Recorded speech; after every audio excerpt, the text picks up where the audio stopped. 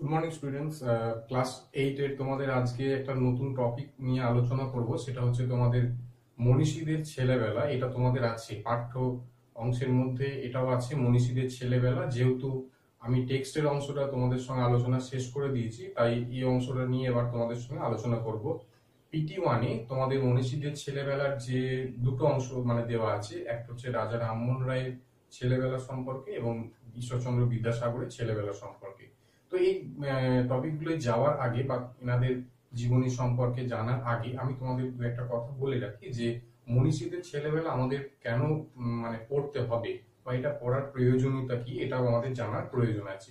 দেখো, যারা আমাদের কাছে প্রণম্য, যাদের জীবনে চলার পথ আমরা অনুসরণ করে চলি, তো সেই সমস্ত ব্যক্তিদার মানে ব্যক্তিদের মধ্যে রাজা রামমোহন রায় বিদ্যাসাগর এরা আছেন। তো এদেরকে কেন আমরা অনুসরণ করব? কারণ আমাদের জীবনে চলার পথটা যাতে তোমার হচ্ছে সুষ্ঠুভাবে হয়, আমরা যাতে সঠিক পথ অনুসরণ করে চলতে পারি, সেই কারণে এনারা যে পথ দিয়ে চলেছিলেন এনারা যেভাবে এগিয়েছেন, সেই পথগুলোকে আমরা সর্বদাই অনুসরণ করার চেষ্টা করব। এতে কি হবে? এতে আমাদের যে ভবিষ্যৎ জীবন, সেই জীবন অনেকটাই সাফল্যমণ্ডিত হতে পারবে, ঠিক আছে? তো এই কারণে আমাদের এনাদের জীবন সম্পর্কে জানা দরকার। এছাড়াও ভারতবর্ষের যে তোমার হচ্ছে সংস্কৃতি, ভারতবর্ষের যে ইতিহাস, ভারতবর্ষের যাবতীয় বিষয়বস্তু জানতে গেলে এই সমস্ত মনীষীদের জীবনও জানা প্রয়োজন রয়েছে। তাহলে একদিক থেকে ইতিহাস চর্চার পাশাপাশি আমাদের জীবনকে সঠিক পথে পরিচালিত করবার প্রয়োজনে এই মনীষীদের জীবন বা মনীষীদের যে ছেলেবেলার জীবনগুলো, সেগুলো সম্পর্কে আমাদের জানার প্রয়োজন আছে। তো আজকে দেখো মনীষীদের যে ছেলেবেলা, সেখানে আমি রাজা রামমোহন রায় নিয়ে আলোচনা করব। তো রাজা রামমোহন রায়ের যে পরিচয়, সেখানে আমরা তাকে আমরা কি জানি? তাকে আমরা নবজাগরণের পুরোধা ব্যক্তি হিসাবে জানি। নবজাগরণের পুরোধা ব্যক্তি হিসাবে কি বলব আমরা? যে তিনি ভারতবর্ষে যে সমস্ত প্রাচীন সংস্কার বা কুসংস্কার বলব সেগুলোকে ভেঙে একটা নতুন তোমার হচ্ছে পথের দিশা দেখাতে সচেষ্ট হয়েছিলেন। ঠিক আছে? এছাড়াও ভারতবর্ষে যে মানে পাশ্চাত্য শিক্ষা পাশ্চাত্য শিক্ষা মানে হচ্ছে বিদেশি বা ইংরেজি যে শিক্ষা, তার বিস্তার ঘটাতেও তিনি এখানে সহায়তা করেছিলেন।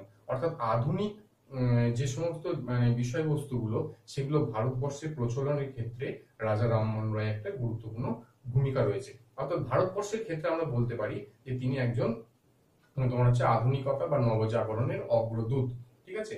তো এবারে সেই রাজা রামমোহন রায়ের জীবন বা তার শৈশব বা তার ছেলেবেলা কেমন ভাবে কেটেছিল, সেটা তোমাদের পাঠ্য অংশের মধ্যে আছে। যে মনীষীদের ছেলেবেলা যে বইটা তোমাদের কাছে আছে, সেখানে দেওয়া আছে। ঠিক আছে?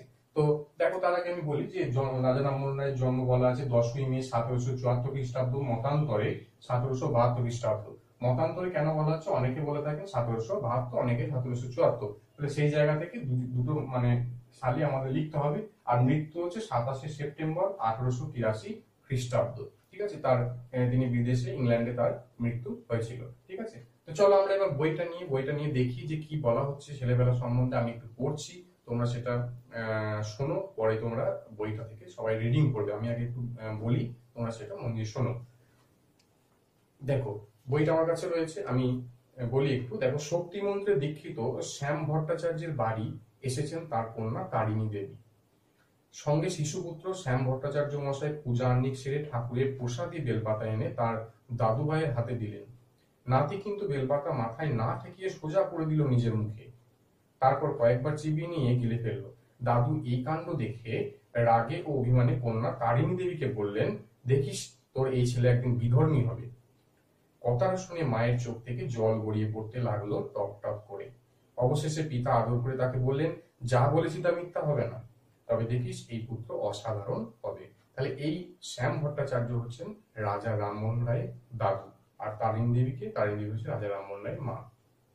তাহলে এখানে বলছে, দেখো, ওই নাতিটি কে? বলতে পারো? তিনি হলেন রাজা রামমোহন রায়। তার পিতা রামকান্ত রায় ছিলেন হুগলি জেলার রাধানগরের একজন সম্ভ্রান্ত জমিদার। তাহলে রাধানগরে, হুগলি জেলার রাধানগরে তোমার হচ্ছে রামমোহন রায়ের জন্ম। ছোটবেলা থেকেই রামমোহন খুব মেধাবী ছিলেন। এত গভীর মনোযোগের সঙ্গে তিনি লেখাপড়া করতেন যে যা তিনি একবার পড়তেন তার ভুলতেন না। অতি অল্প বয়সে বিদেশি ভাষা, দেখো, গ্রিস তোমার হচ্ছে ফরাসি, আরবি, ইংরাজি ফার্সি হিব্রু, উর্দু, ল্যাটিন আয়ত্ত করেছিলেন। মানে তার প্রতিভাটা কতটা দেখো, কতগুলো ভাষা তিনি একসঙ্গে আয়ত্ত করতে পেরেছিলেন। এরপর তার বাবা তাকে সংস্কৃত শিক্ষার উদ্দেশ্যে কাশিতে পাঠান। ফলে অল্প কিছুদিনের মধ্যেই তিনি সংস্কৃত ভাষাতে পণ্ডিত হয়ে ওঠেন। এই সময় খুব কম বয়সেই ধর্ম সম্বন্ধে তার মনে একটা বিরাট পরিবর্তন লক্ষ্য করা যায়। তাহলে মানে এই সংস্কৃত চর্চা করার পর ধর্মের ব্যাপারে একটা তার মনের মধ্যে একটা পরিবর্তন ঘটে। কি পরিবর্তন? ক্রমে ধর্ম বিষয়ে নানা বই পড়ে তিনি মূর্তি পূজার বিরোধী হয়ে ওঠেন। এই যা হিন্দু ধর্মে আমরা মূর্তি পূজা করি, এর বিরোধিতা তিনি করেন। রামমোহন তখন কুড়ি বছরের তরুণ। বিদ্যা চর্চার মধ্যে দিয়ে যে জ্ঞান তিনি লাভ করেছিলেন, তা তার বিচার শক্তি করে তুলেছিল মার্জিত। এছাড়াও তর্ক করার ক্ষুরধার বুদ্ধি আর যুক্তির সামনে বড় বড় পণ্ডিতেরাও তখন খড়কুটোর মতো ভেসে যেতে লাগলেন।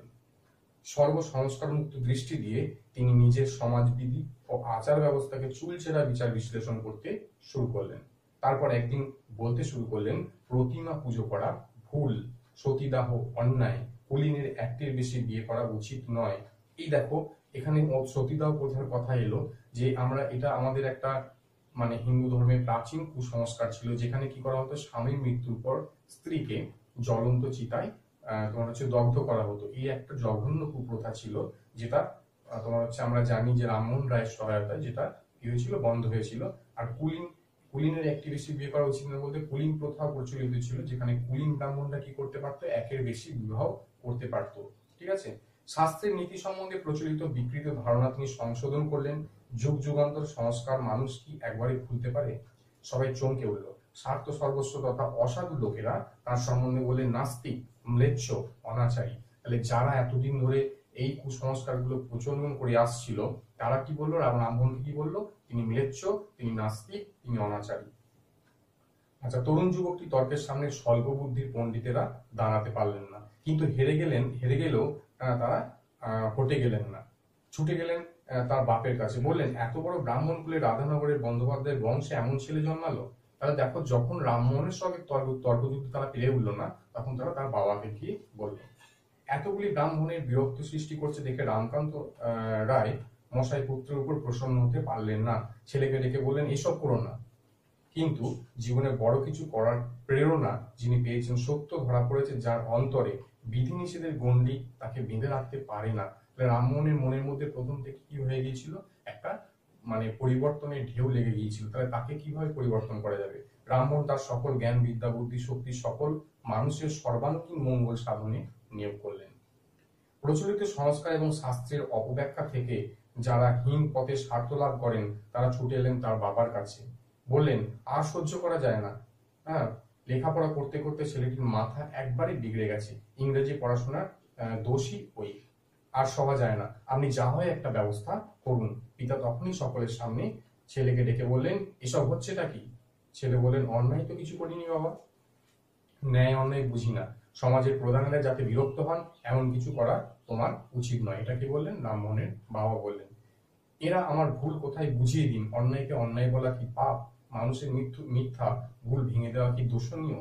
রামমোহনের সঙ্গে তর্ক যুদ্ধে অসমাপ্ত অল্প বুদ্ধি পণ্ডিতের দল এবার রুষ্ট হয়ে উঠলেন। বললেন, তুমি কি বলতে চাও আমরা এতদিন ধরে যে আচার পালন করছি আমাদের বাপ পিতামহেরা, তাহলে কি ভুল?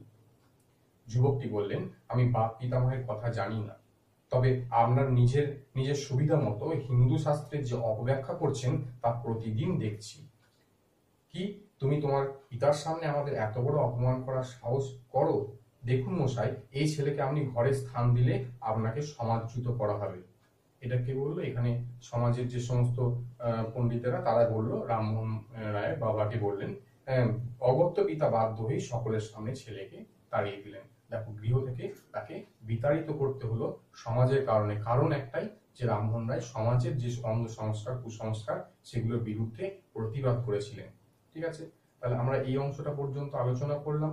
আমি পরের দিনের ক্লাসে পরের অংশটা নিয়ে আলোচনা করব। তোমরা এখান পর্যন্ত অর্থাৎ সাত পাতা পর্যন্ত সবাই একবার করে রিডিং পড়ে নেবে, ঠিক আছে? পরের দিন আমি পরের অংশটা নিয়ে তোমাদের সঙ্গে আলোচনায় আসব। সবাই ভালো থাকবে, সুস্থ